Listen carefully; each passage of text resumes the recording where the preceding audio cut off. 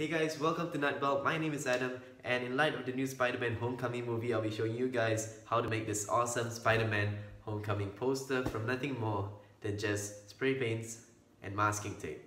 So let's get started.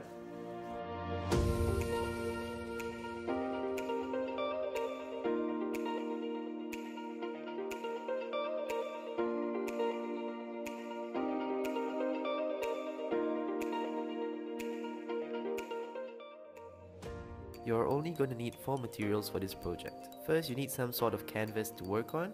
For this, I'm going to use an MDF board I got from Daiso. It's a 40 by 30 cm board, but you could use any piece of plywood as well. You also need to print a template in the description onto an A4 size piece of paper. You need lots of masking tape.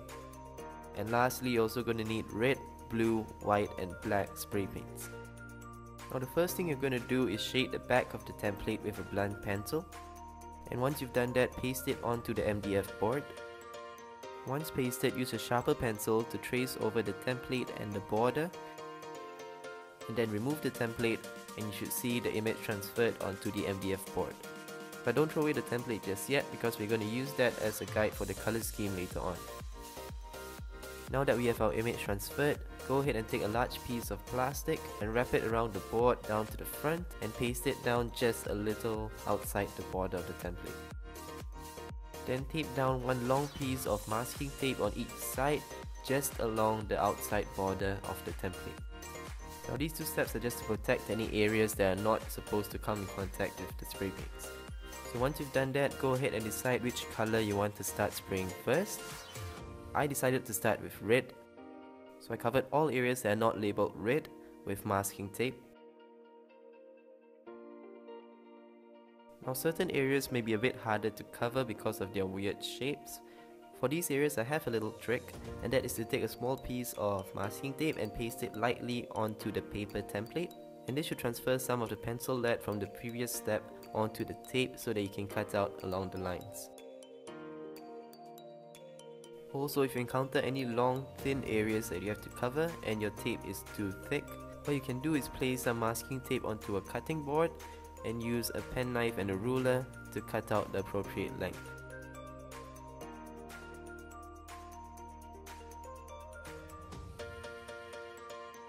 So go ahead and take your time, cover up every single area that needs to be covered and once you're done, go ahead and check that you didn't leave out any areas. So once you're confident that you covered all the areas correctly, go ahead and take your spray paint and apply 2 to 3 thin layers onto the board. Now be careful not to go crazy with the paints at this step because if you apply too much paint it's going to be hard to remove the masking tape later on. In fact, a very thin layer will look a lot better later on because you'll give it more of a spray painty effect.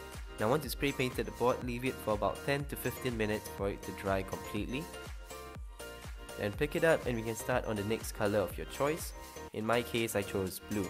So go ahead and remove any tape that's covering any of the blue areas and cover the rest that is not supposed to be painted blue. And again, take your time because you do not want to leave out any areas and mess it up at this step.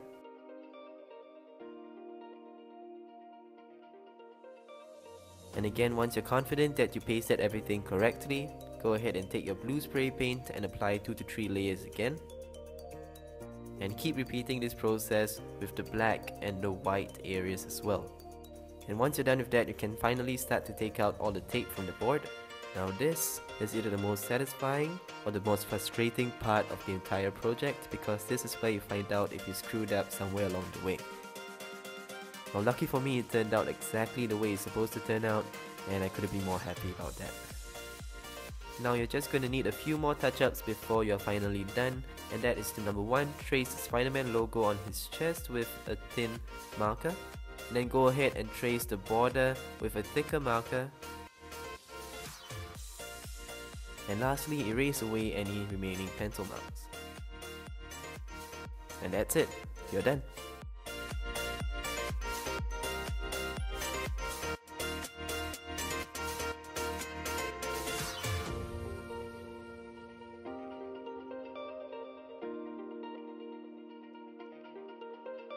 Hey guys, I hope you guys like this project. It's a very simple project to do, but it does take quite a bit of time. I think the pasting part alone took me a good 2 to 3 hours to complete. But if you have the time over the weekend, I think this makes a great weekend project and it's well worth the time. I think it looks just awesome.